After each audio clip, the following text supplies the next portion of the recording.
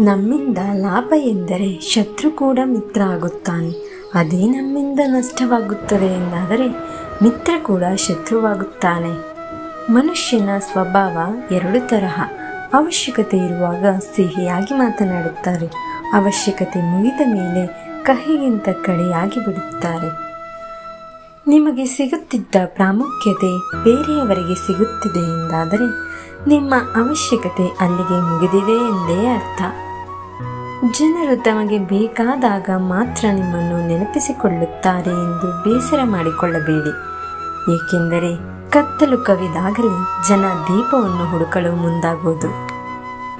ಬಳಸಿಕೊಳ್ಳುವವರ ಜೊತೆ ಹೋಗಬೇಡಿ, ಬೆಳೆಸುವವರ ಜೊತೆ ಹೋಗಿ. ನಿಸ್ವಾರ್ಥ ಸೇವೆಯಿಂದ ಮಾತ್ರ ನೀವು ಯಾವಾಗಲೂ ಫಲಪ್ರದರಾಗುತ್ತೀರಿ ಮತ್ತು ನಿಮ್ಮ ಆಸೆಗಳನ್ನು ಈಡೇರಿಸಿಕೊಳ್ಳುತ್ತೀರಿ. ಮರದ ಕೆಳಗೆ ಹಾಕಿದ ನೀರು ಮರದ ತುದಿಯವರೆಗೂ ಹೇಗೆ ಹೋಗಿ ತಲುಪುತ್ತದೆಯೋ ಹಾಗೆಯೇ ಪ್ರೀತಿಪೂರ್ವಕವಾಗಿ ಮಾಡಿದ ಪ್ರತಿಯೊಂದು ಕೆಲಸವು ಭಗವಂತನಿಗೆ ತಲುಪೇ ತಲುಪುತ್ತದೆ. ಯಾರು ತಮ್ಮ ಲಾಭಕ್ಕಾಗಿ ಇನ್ನೊಬ್ಬರನ್ನು ಬಳಸಿಕೊಳ್ಳುತ್ತಾರೆಯೋ ಒಂದು ದಿನ ಒಂದಲ್ಲ ಒಂದು ಕಡೆ ಅವರೂ ಕೂಡ ಇನ್ಯಾರದೋ ಲಾಭಕ್ಕಾಗಿ ಬಳಕೆ ಆಗಿಯೇ ಆಗುತ್ತಾರೆ. ನಾವು ಬೇರೆಯವರಿಗೆ ಸಹಾಯ ಮಾಡಿದಾಗ ಅದಕ್ಕೆ ಪ್ರತಿಫಲವಾಗಿ ನಮಗೆ ಆ ಭಗವಂತನು ಆಶೀರ್ವಾದವನ್ನು ಪ್ರಾಪ್ತಿ ಮಾಡುತ್ತಾನೆ. ಆಶೀರ್ವಾದವು ಕಣ್ಣಿಗೆ ಕಾಣುವುದಿಲ್ಲ, ಆದರೆ ಕೆಟ್ಟ ಸಮಯದಲ್ಲಿ ನಮ್ಮನ್ನು ಕಾಪಾಡುತ್ತದೆ.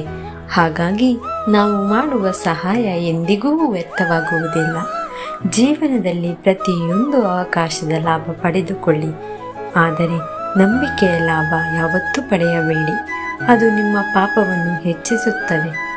ನಾಲ್ಕು ಜನಕ್ಕೆ ಸಹಾಯ ಮಾಡುವ ಗುಣ ನಿಮ್ಮಲ್ಲಿದ್ದರೆ ನೀವು ಯಾವ ದೇವಾಲಯಕ್ಕೆ ಹೋಗುವ ಅವಶ್ಯಕತೆ ಇಲ್ಲ.